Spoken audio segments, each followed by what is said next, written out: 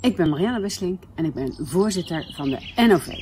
En ik mag vandaag bekendmaken wie de vrijwilligersgemeente van het jaar 2020 wordt. Dan.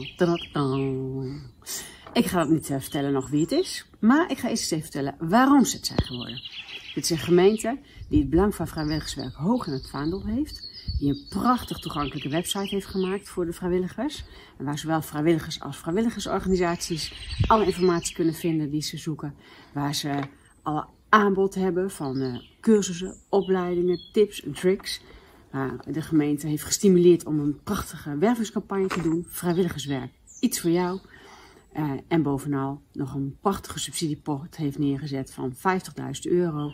Waar innovatieve initiatieven aangemeld kunnen worden.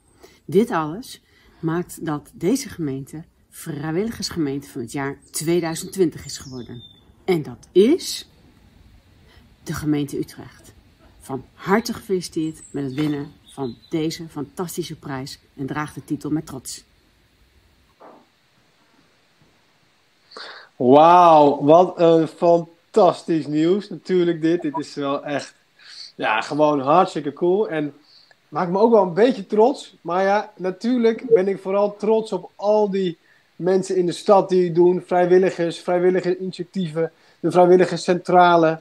Nou ja, en al die andere organisaties die hierbij betrokken zijn. Dus het is gewoon wel echt heel erg cool om te horen. En misschien is het wel leuk om dan te zeggen ook, waar komt dit nou eigenlijk vandaan in de stad? Dat de stad zo'n prijs kan winnen. En ik denk wat een van de belangrijke pijlers is van ons beleid, is dat je vrijwilligerswerk niet moet zien als iets wat voor een specifieke groep mensen geldt, maar dat het eigenlijk iets is van ons allemaal.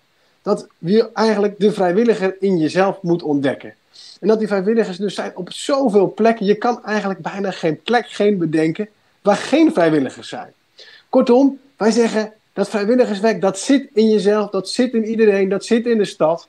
Dus dat zit hier echt helemaal uh, door en door doorheen. Kortom, wij zijn onwijs trots. We gaan genieten van deze prijs en we gaan de belofte van de prijs ook waarmaken.